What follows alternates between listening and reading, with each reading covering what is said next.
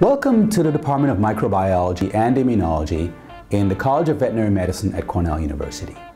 We're a collaborative and interactive group of faculty, students, and staff engaged in cutting-edge research and teaching in infectious disease and immune response. Members of the faculty perform research in a variety of areas including virology, parasitology, microbiology, and immunology. Faculty research labs are housed within the Veterinary Medical Center as well as in the Baker Institute for Animal Health.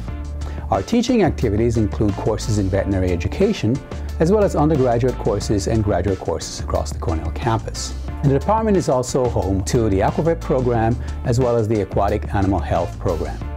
I think it's really exciting to have so many talented people together in one place, all working towards a common goal, which is looking to develop new therapies, new ways to understand biology and infectious disease. The department is an active participant in graduate training here at Cornell.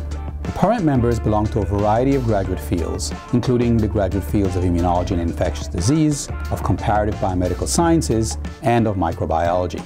The graduate fields of immunology and infectious disease and of comparative biomedical sciences belong to a larger umbrella program, the Graduate Program in Biological and Biomedical Sciences, or BBS, which is housed within the College of Veterinary Medicine.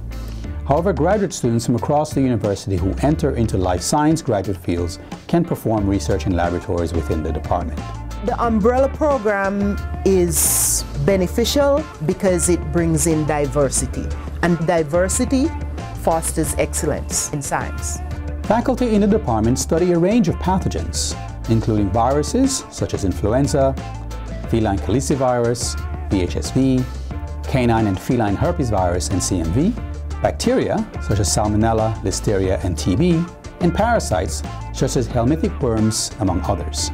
Our immunology interests stretch from understanding how the immune system develops to how it protects against infection to the development of vaccines. Members of the faculty also study diseases such as allergies and allergic asthma and autoimmune diseases such as multiple sclerosis.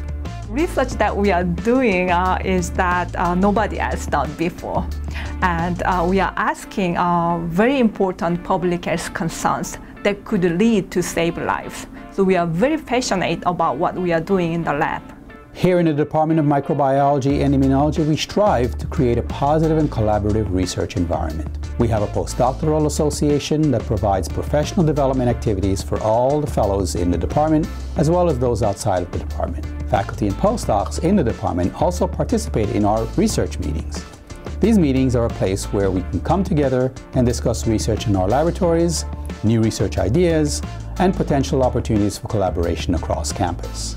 Faculty research meetings are, are, really good ways for the faculty to get together to discuss new, new projects and, and, kind of get, get feedback because not, it's not just students who need feedback, faculty also need feedback in, in their research program. So faculty research meetings can be very beneficial. And certainly some of my postdocs are very involved in the postdoc groups and trying to get to that next career step in terms of becoming independent scientists. And I think the postdoc group is very beneficial to be able to do that.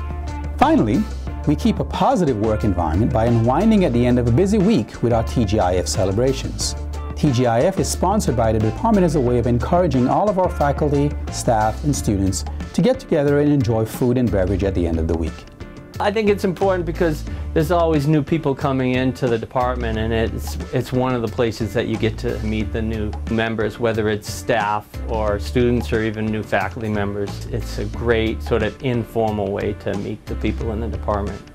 The Department of Microbiology and Immunology is also the hub of infectious disease and immunology research here on the Ithaca campus at Cornell. We foster relationships and research within the department, the college, and across campus.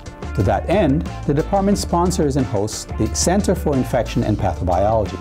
The center brings together faculty from across campus who are interested in infectious disease and host immune response.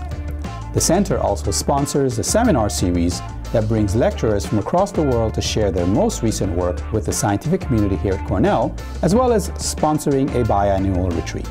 Collaborations are really um, kind of the essence of doing science and we really thrive on collaborations with other labs not just in the department but around the college. The Department of Microbiology offers the latest and most advanced technology and equipment. the freedom to uh, explore new hypotheses and to actually design the right experiments and come up with the most appropriate model to actually find answers to questions that have remained unanswered to date. I hope that short video provided you with the exciting research and teaching that's being carried out in our department.